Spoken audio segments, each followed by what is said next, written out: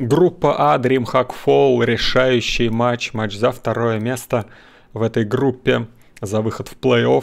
Туда попадет только один из этих двух джентльменов. Слева вверху появился СОС. Справа внизу появился Хиро Марин, который выиграл стартовую встречу сегодняшнего дня у своего соперника. Но теперь пилоны, знаете ли, не вырастают. Или, погодите-ка секундочку. Что опять? Да ладно! Да нет, gate дома, все окей. Ну, он как бы напрягает соперника, он приехал очень рано, и он мешает, ставит спокойно там стенку, но нет, в этот раз я не думаю, что СС будет ставить proxy pylon и gate ы на main е у оппонента. У него есть, конечно, еще и замечательный build proxy Nexus, но он его играет только против барак ЦЦ или даже против ЦЦ первого. Ну, короче, против макроориентированных билдов. Да и, возможно, теперь уже не... Так, вторая пробка поехала ставить прокси Stargate, наверное. А может быть, он и попробует сыграть в стиле партинга. И здесь СОС добирает КСМ-ку. Это как бы, ну, не то чтобы прям очень страшно, но, конечно, это отставание, которого хотелось бы избежать. На самом деле, а, окей, это прокси Stargate, и это даже за батареивание свой дрейми, скорее всего. Я думаю, что такой план. Здесь пока СОС ставит пилон, просто чтобы соперника на самом деле обмануть, чтобы он не понимал, против чего играет – может быть, если тот пилон достроится, на нем даже есть смысл влепить батарейку. Просто на будущее. Но самое главное, что он не дает нормально закрыть стенку. Другой вопрос, он сам закрывает стенку, это да. Но в целом получается какая-то фантасмагоричная дичь. Да, но самое главное, конечно, происходит сейчас под мейном. По-моему, именно туда Хиро Марины выдвигается. Он поехал в разведку, он увидел, что у соперника там нету базы, и нету второго пилона. Поэтому, конечно, сразу выходит сюда, убивает. Точнее, не убивает, а стреляет по батарейке, но батарейку невозможно добить. И пилон невозможно убить, потому что делается батарейка ее отхилит. В общем, на самом деле отменить там что-то внизу этими морпехами почти невозможно. Поэтому Терн всегда вынужден отбиваться уже именно от того, что вылетит от Старгейта. Это обычная практика, так же как и прокси гейты, там пытаться выйти отменить, если только они хоть на каком-то отдалении от вас стоят, э, почти невозможно. То есть э, придется уже точно против этого играть. Первая батарейка есть, пробочка уже ставит пилон на натурале. Та батарейка была пристрелочная, скажем так. А этот пилон, он чем удобен? Он вижен дает прекрасно видит СОС, что где происходит. Единственное для СОС, что не очень хорошо, что второй саплай далеко. Соответственно, он тут заберет только один саплай. Но, с другой стороны, он, может быть, и сам этого хотел. Не знаю, пилон минус. Но у СОС нет проблем с лимитом. Хотя, вообще-то, погодите, сейчас будет проблема с лимитом. Он дублирует пилон. Циклон с какого расстояния? Очень странно, что не пытается лабораторию забрать, пока вроде бы есть возможность. В ней же зацеп, но в ней зацеп еще 500 лет будет делаться. Вот теперь СОС по нему включается, причем с разогревом подходит к СМ, пытаются вычинить, и там все это время циклон наваливает, и батарейки уже начинают заканчиваться. Циклон-то зацепился вообще и стреляет все это время. Почему-то зацеп сбился, кстати, я не особо понял, что произошло. Тратить батарейки на адептов не очень-то и хочется, пошли новые батарейки, но далеко они не будут доставать. И, соответственно, зацеп наполовину уже готов. Лаборатория пока что выжила. Трем рабочим хватает. Скорости ремонта. Почему СС двух-то войдрейв отводит, ну? Оба же циклона зацепились. Только один войдрей должен был улетать. Ошибается СС в микроконтроле. И бункер тут очень так по делу стоит. Да, все, минус. Лаборатория по-любому. Как-то можно было бы и факту, но, наверное, хочется выйти из зоны зацепа. Ага, СОС вот так вот. Аккуратно подмикрил, подмикрил и сделал вид, что он так неуверенно тут что-то играет, а потом взял да и зацепил циклона, и от новых ускоренных вайдреев циклоны не улетают. Там, кстати говоря, уже и гейт есть. Да, вот в последнее время протосы хорошо научились этим инструментом пользоваться. Прокси гейтом и заварпами сюда же в атаку. появляются мины, что довольно неплохо, потому что Рэй всегда летают в стеке. Хотел СОС-бункер попробовать. Передумал. Танк делает Хиромарин. Нужно ему что-то делать с этими батарейками, потому что если он ничего не делает с ними, то он ничего не сделает с свой Дрейми. Крейт на зацеп ему никто не даст. Слишком близко факта, наверное, надо было куда-то ее дальше прятать. В итоге факта сейчас вообще может погибнуть. Хиромарину надо или улетать, или ливать из игры, по-моему. У него, впрочем, уже, конечно, начинают строиться викинги, но первого викинга он тоже отдал на грелках. Ну что, когда нету других аргументов, да? Знаете, как это в семейных спорах у людей, которые попроще? Если в споре нет аргумента, всегда можно жене засветить да, между глаз. Вот у протосов ТВП, по-моему, примерно такая же логика. Че там макро не получается, вы знаете, впрочем, у меня есть стратегия, которая всегда работает.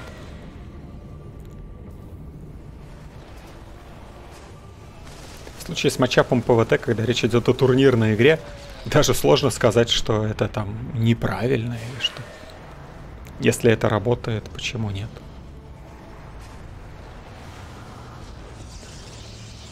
Интересное я показал вам в первом матче, как бы говорит нам СОС. А теперь простите, но мне просто очень нужны деньги.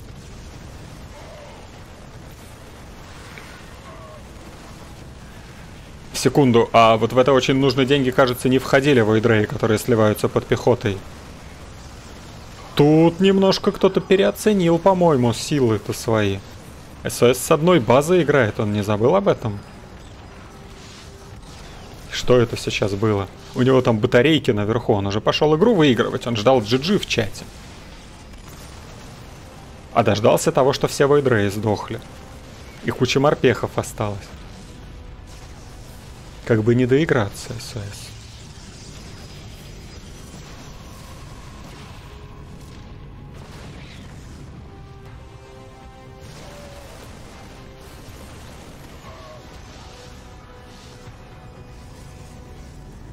Ну что, прилетает Войдрей номер 3. На самом деле уже, наверное, номер 12, но часть была потеряна. Еле-еле СС отступает. Отменена одна батарейка.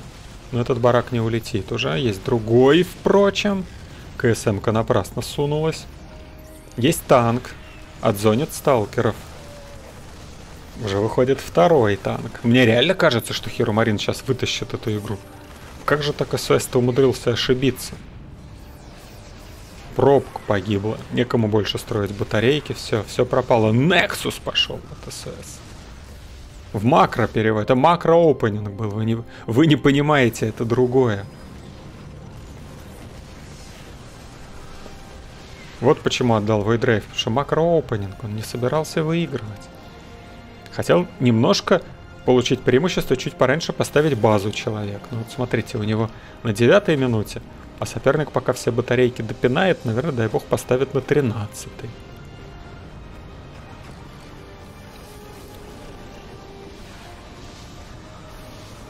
Дело-то не быстрое. Drop там куда-то полетел. То ли на main к сопернику, то ли Stargate отключать. Ну, если что, наверное, есть рекол у СС. На какой-то крайний случай. Варпает он пока все сюда. Так, здесь очень классные форсфилды. Несколько морпехов зажато, удалось их убить, но в целом, конечно, да, здесь поиграно. Ох уж этот СОС, но Хиромарин молодец. Не сдавался, не нервничал, держался до последнего, старался не отдавать юнитов. Немножко отдавал, но, видимо, в пределах нормы. Ой-ой-ой, вот без этого как-нибудь.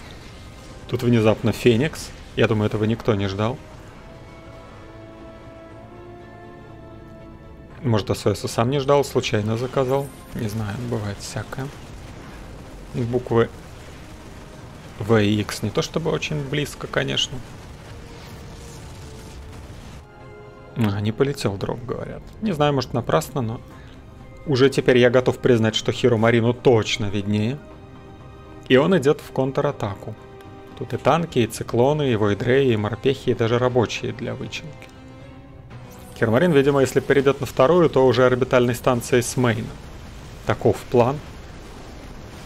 Ну, Зилотом медленным тяжело против танков, даже без раскладки. А там урона много со всего.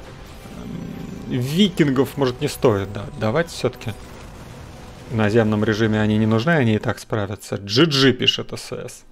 Хиро Марин просто исторически вытягивает против этого чиза. Эту игру надо разбирать просто и запоминать, да? Я делаю вот так, вот так, вот так, а потом соперник отдает всех вайдрейв, и я побеждаю. В левом нижнем углу появляется Хиро Марин. Во втором сете ведет со счетом 1-0. Одна карта, и он в плей-офф. В правом верхнем СОС, который оставил эту карту явно с какой-то задумкой. Не знаю, чем ему мог настолько не понравиться Оксид. М-м-м. Что же вы думаете? Пилон поставлен в стенке. Но вот только где будет gateway? Я думаю, здесь. Я думаю, СОС взял эту карту с расчетом, что она самая короткая. Тут все это будет максимально рано. Да, и все-таки он нам хочет показать, как таки должен работать этот build. Слушайте, а что если третий gate поставить так, чтобы стенка получилась? А? Ага. Та-дам! Теперь к пилону никто не проберется, но будет убит самый первый гейт, очевидно. И Хиромарин так и делал. Он убивал один гейт, СС его отменял, ставил другой третий гейт. Хиромарин убьет еще один, и два останется. То есть тут как бы логика вроде линейная.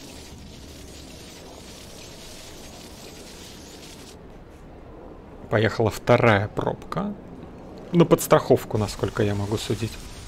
Отменить гейт? СС достраивает? Да ладно. Зачем достроил-то? 150 минералов лишние, что ли? Этого я не понял. Окей, да, здесь можно Зилота под бустом. Мне кажется, он должен успеть. Поставлена кибернетка, поставлен второй пилон. Понятно, батареек еще никаких нету. Сейчас должен выйти Зилот. Херварин заказывает Рипера и летит в контратаку. Здесь он будет... Ой, Зилот не успел! Потому что Хиромарин вывел очень много рабов в этот раз. Он вывел не просто там 6 рабов, как я считал, да, он вывел почти всех. Он не добывает, но гейты он запилил. В итоге прилетает Рипер и... А вот один гейт был, кажется, дома в предыдущих играх. Да, и здесь нет ничего. Теперь СОС будет кататься. А кто будет самочки возить, не знаю. Да, ну ты... Сколько ты теряешь пробок по-любому? Ни один терран здесь не отдаст рипера, да, но показывают график добычи такой, как будто вот как раз кто-то возит саночки, а потом с этого графика катается сверху вниз. Батарейка доделалась, окей, здраво. Дальше буст пустоты, тоже неплохо. Здесь два пилона все еще стоят, proxy Stargate и дальше переход в Void насколько я могу судить. Эх, СОС, конечно, затейник. Ну, лучше так, чем плохо играть стандарт, правильно? Пробка поехала пилить. Не, пробка, завязывай. Окей, готов адепт, отогнал Рипера.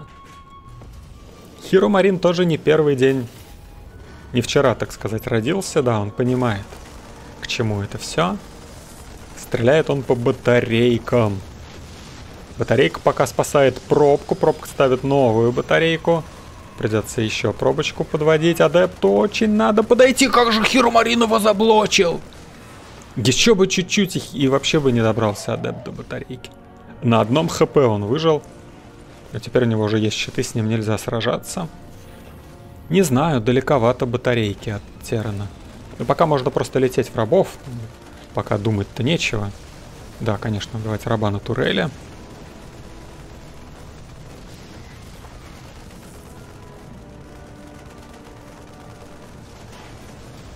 Пока он убивает просто рабочих, которые что-то строят. В расчете, чтобы это что-то достроилось чуть попозже. Адепт прилетает прямо к турели. Да, из-под бункера его надо вывести, конечно. И вот так вот прямо над фактой, как Джинни, вспомните, учил. Оставляем Void Ray я над фактой. Выйдет циклон, он его сам зацепит, сам убьет. СОС, наверное, даже сюда смотрит. Но СОС не играет macro opening, поэтому это все-таки all-in куда ему еще смотреть. Он там не делает build в это время, просто варпает адептов и все.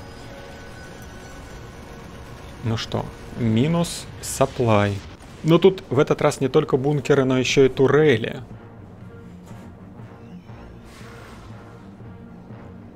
Батареек на натурале нет, вот только строится одна. Все равно можно вцепить факту, конечно. Но скоро будет зацеп. Я думаю, что СОС все очень плохо. Нет, в этом билде что-то есть, но, конечно, главное, что в нем есть, это эффект неожиданности. И СС играет уже третий раз. У Хиромарина было очень много времени подумать. В том числе, возможно, посмотреть реплеи. И прийти к выводу, что надо прям запиливать гейты в салат. На пофиг, просто рабочим. Ну что, рабов поровну. Фениксы пошли в СС.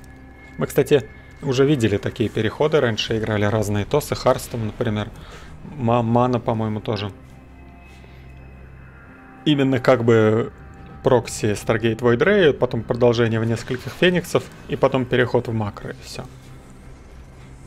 Ну, у Хиромарина будет однобазовый пуш.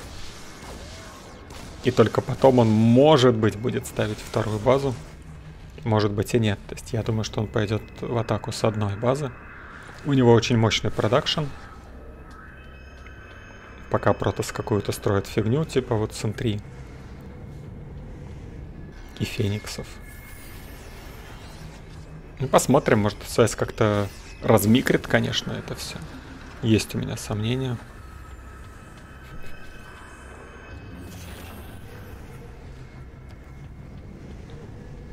СС так странно выглядит за компом. Как будто у него монитор 15 дюймов стоит очень далеко. И он прям что-то... А, циклон, понятно.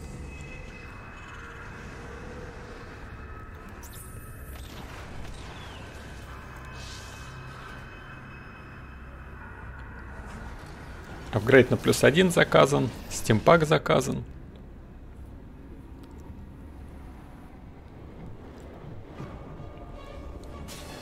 Нет, все-таки командный центр. Не умею я читать Херу Марина, походу. Количество SSD ограничено, пока на одну договорились. А дальше, наверное, будет зависеть от того, ну, насколько много людей будут переходить по ссылке и интересоваться чем-то, и, может быть, делать какие-то заказы в интернет-магазине E2, E4. Пока что SSD-шка у нас одна в призах. Так что первый, кто наберет 512 тысяч баллов на Твиче, сможет ее забрать. Twilight пошел у СОС, ну у него Nexus там, понятно, уже есть. Макроопенинг, говорю же.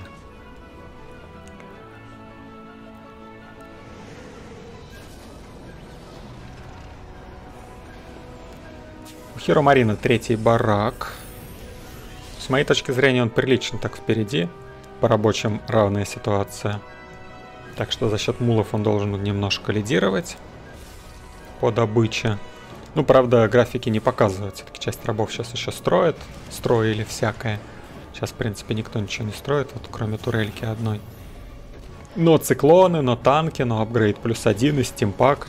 И сейчас будут щиты, и, видимо, сейчас будут медиваки. Уже есть медиваки. У Протоса, в принципе, Void но насколько их можно назвать технологией, это большой вопрос.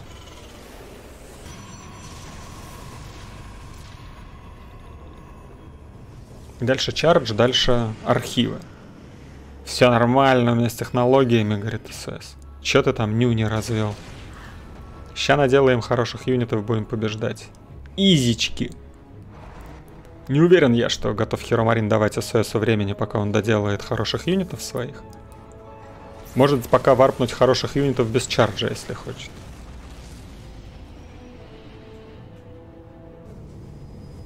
Апгрейд на шторм. Ну, пытаться ждать на филдах, да там медиваки есть. И зацеп есть. Ну, кстати говоря, да, тан танки вот прям под натурал, наверное, не очень сработают. Под мейн это интереснее. Но тут все равно войдреи, в принципе, неплохо такое должны выдавливать. Да, СОС может подержаться на форсфилдах, на Гардиан Шилде. Фидбэки в итоге были отданы в медиваке, потому что до штормов тут еще бы дожить. Дальше Архон, который впитал кучу урона, это нормально, это неплохо. Центри удалось Хиромарина забрать, он переходит на натурал, убивает батарейку единственную. СОС пишет good game, well played. Ну что, реванш за 18 официально свершился. Хиромарин 2-0-2-0 делает против СОС и показывает, что он больше не тот ладдерный парень, которого можно прокатить двумя рандомными чизами. Заслужил Хиромарин сегодня, заработал свой плей-офф, вне всяких сомнений. И Партинга мог обыграть. Немножечко не хватило. Хиромарин, поздравления, что прошел.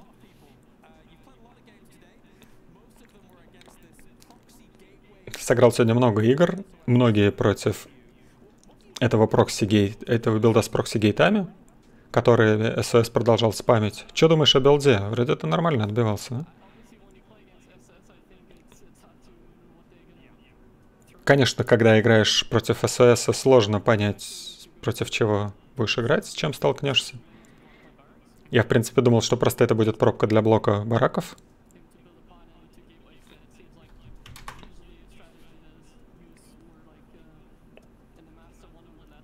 Внезапно он сыграл прокси гейты, которые редко играют выше какой-нибудь мастер-лиги 1 на ладдере. Но вообще, это может быть очень сильный билд, если ты не знаешь, как на самом деле точно отвечать. То есть технически это нормальная стратегия. И она могла бы застать меня врасплох, но мне повезло, что я уже раньше с ней встречался, поэтому я знал, как реагировать. Ты, наверное, один из тех терранов, кто больше всех тренируется против Протоса. На стриме ты все время играешь TvP. Херомарин... Ну, короче, вопрос был о том, ну, как он себя чувствовал, когда против него продолжали ставить все-таки эти гейты. И Херомарин говорит, что, наверное, СОС продолжал играть этот build, потому что считал, что Херомарин реагирует неверно. Может быть, считал, что не надо КСМ тянуть или еще что-то. Хермарин говорит, с его точки зрения он делает верно, когда срывает рабочих. Может быть, не очень чисто. Может быть, э, слишком рискованно. Демуслим там начал размышлять, но поскольку интервью не у него берут, он себя остановил, там второй барак и так далее. Ты еще сыграл с партингом. Как бы ты отметил, чем отличается партинг от других игроков, чтобы, и что бы ты сделал иначе, если бы, например, снова бы против него играл. Самое опасное это что он может пойти в любой build, который ему нравится, и просто, ну, начать в него играть, и все, на пофиг. Проблема с этими агрессивными билдами в том, что ты оказываешься очень далеко позади, если это прокатывает, и это не играбельно.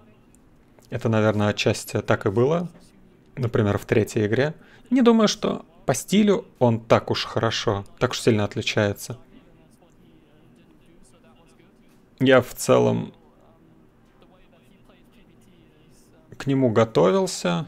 Не ожидал против Старгейта, например, но вроде бы сыграл против него нормально.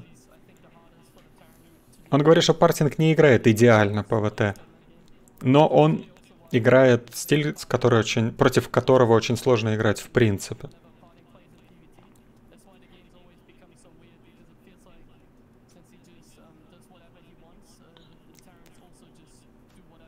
То есть, короче, суть в том, что он говорит, что трудно играть, потому что э, когда играет партинг, э, там не работают mind games ы. Он просто идет во что-то внезапно, что не имеет иногда логики.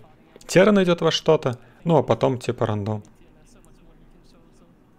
В любом случае, явно у Партинга есть еще очень много заготовок, которые он мог бы показать. Вот именно из-за этого с ним очень тяжело играть. Типа его очень сложно прочитать, потому что то, что он делает, не обязательно подчиняется логике. У тебя в группе сегодня были три протоса, и все они разные. Интересно, как ты готовился к такой группе? А у тебя впереди, к тому же, еще плей-офф.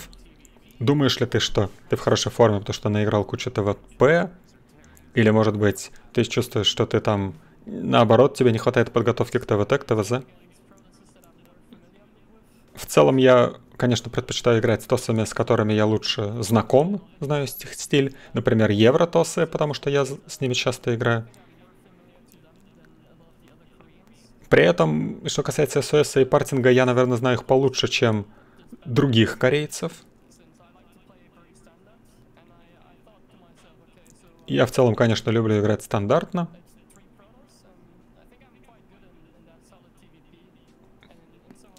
Поэтому, когда я готовился к группе, я просто решил, что, ну, наверное, в стандартном ТВП я неплох. Поэтому, если... В целом, я бы сказал, что ТВП у меня лучший матчап, когда моя игра получается. То есть мне нужно выжить, пережить раннюю игру и не оказаться слишком далеко позади. И зачастую я оказываюсь в позиции, когда я могу просто сразу закончить игру. И что касается матчей с СС и партингом, хоть они и ну, достаточно сумасшедший стиль используют, они все равно, может быть, и лучше подходят для меня, чем какие-то более халявные такие тосы, типа Зеста, например, с которыми мне тяжелее. В целом, хоть моя группа и трудная, у меня была определенная уверенность, что я могу из нее выходить. Вот именно поэтому.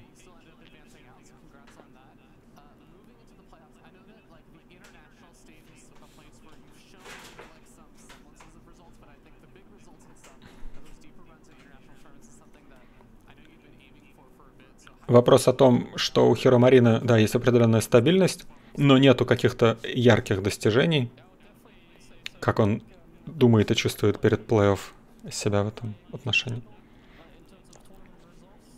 Э, Хиромарин говорит, что он сейчас на пиковом уровне с точки зрения результатов и стабильности.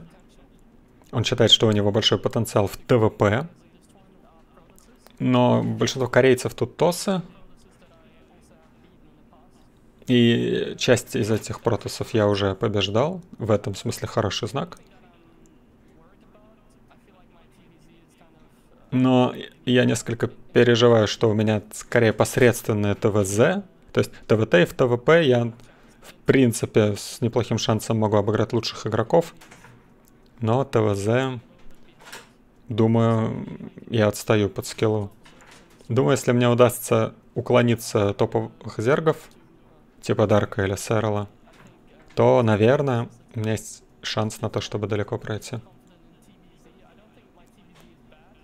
Не то чтобы я вот хотел сказать, что у меня прям плохой матчап ТВЗ. Я всегда вы, обыгрываю тех, кого должен обыгрывать, то есть тех, кто послабей. Но более сильных оппонентов я в ТВЗ не обыгрываю никогда.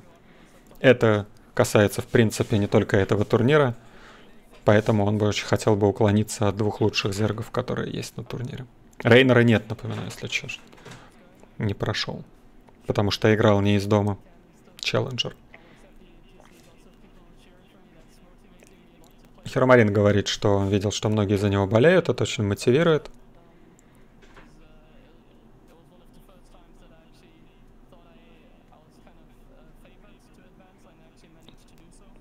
Сравнительно трудный, может, был для него турнир, потому что он впервые подходил к нему в настроении, что он должен выходить из группы, а не просто сыграть там что-то. Но и рассчитывает, что впереди его ждут и более яркие результаты. Случится ли это так, мы, как и англоязычные комментаторы, узнаем теперь в плей-офф. Что ж, на этом наш игровой день заканчивается. Огромное спасибо всем, кто смотрел сегодняшний день. Огромное спасибо всем, кто решил принять участие и э, помочь мне набрать на наушники сборно, которые у меня прям тут. Впереди у нас еще много игровых дней, надеюсь, эту сумму мы добьем. Ну а самое главное, надеюсь, что нас ждет крутой StarCraft. Судя по именам, это практически неизбежно случится. Может быть, где-то в групповом этапе нас ждут односторонние игры с участием того же Проба или, может быть, местами Скарлет. Но в общем и целом, естественно, нас ждет StarCraft высокого уровня. И особенно к плей-офф, до которого мы доберемся в выходные, останутся только сильные. Пожалуй, можно даже и зачесть Хиро Марина в его текущей форме в список этих сильных, но это мы еще посмотрим. На этом на сегодня все. Увидимся завтра в 5 часов вечера по Москве на Твиче. А я с вами прощаюсь, комментировал Каби. До новых встреч в эфире. Пока.